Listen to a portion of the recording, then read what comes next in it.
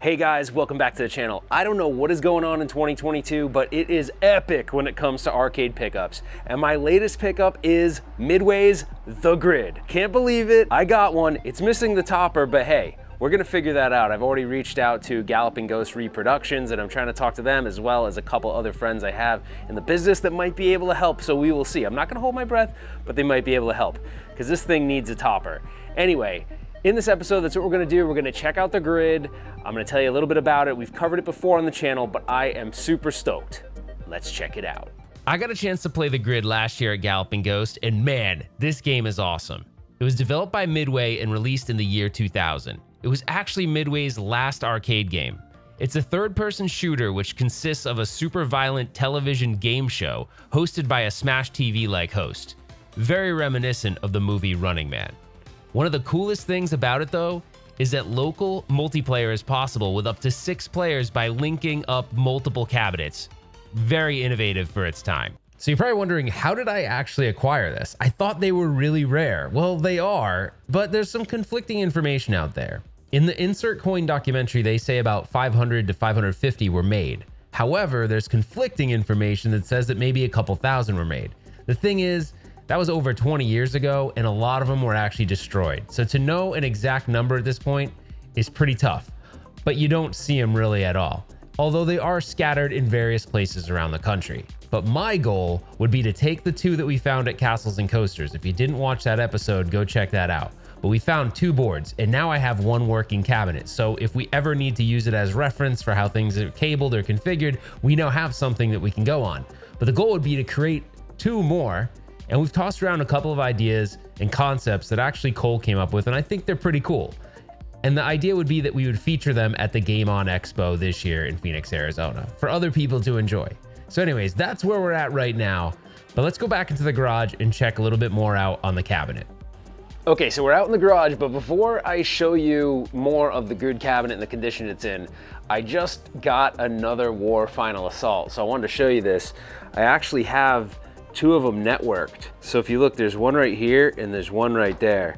So if I actually start a game, I put credits in here, press start, press start to say just play, select that character. You can do head to head, multiplayer deathmatch, and then both of those are ready to go. So this one's green and that one's red, so it's totally cool.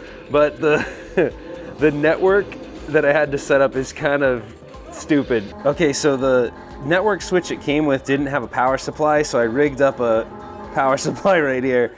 But yeah, so that there's an Ethernet switch, or there's an Ethernet cable rather, that goes from this guy uh, down to that, and then just connects to the other cabinet right here. So, and then they both uh, link up and they detect each other. So that's pretty cool. But anyways, we'll talk more about that later. Okay, so I'm green, and that one's red. All right, check it out. You're going to die.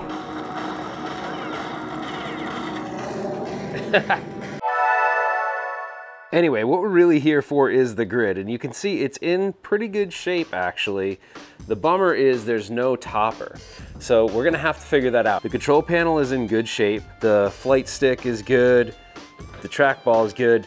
The keypad works. The keypad's really instrumental for this game because you can unlock hidden players, you can start with weapons and do a whole bunch of different things. So the keypad is really instrumental. You can even store your character. Um, so as you kind of build up your, your character, it'll, it'll store those types of things. Um, outside of that, the design is pretty cool too. So it has like very different design than a standard Midway cabinet. Although like you could almost argue that this whole part is a traditional Midway cabinet and then like from here forward, they sort of built this like pedestal looking thing. And then it has like indents where they put midway. It's, it's a very, very cool design. You know, over the side, you have the side art and all that.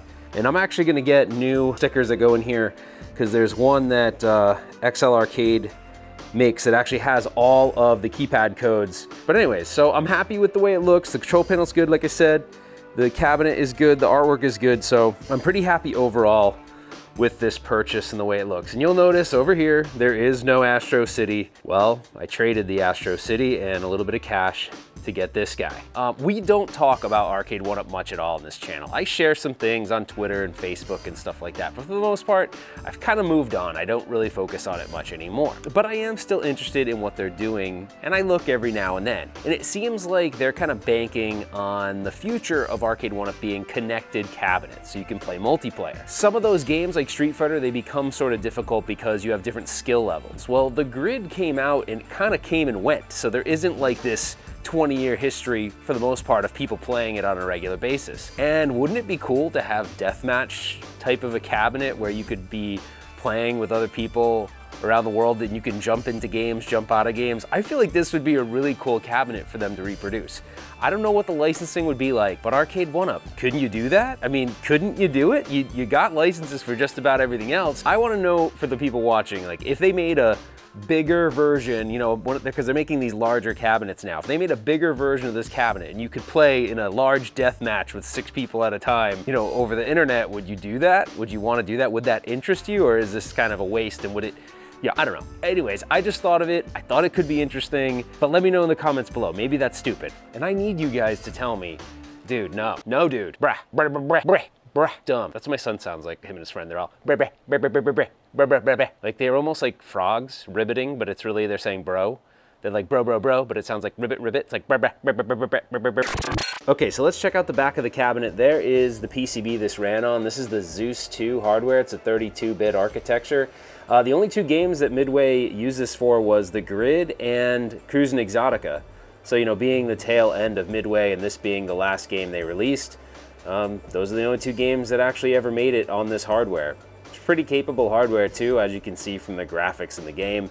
Uh, other than that, it's JAMMA, so you can see your JAMMA connector right there. You've got a power supply right there, so it's pretty empty for the most part. And then you've got where all the connections go into the control panel, including the keypad and the joystick and the trackball.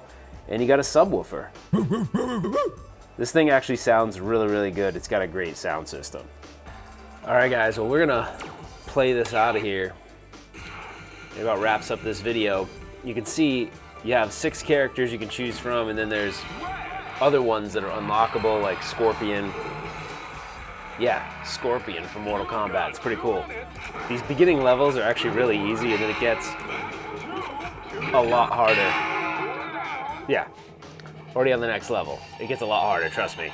Anyways, guys, if you enjoyed this video, give me a thumbs up. Consider subscribing to the channel. Put your comments below. What do you think about The Grid? Is this a game that you played? Is it a game you want to play?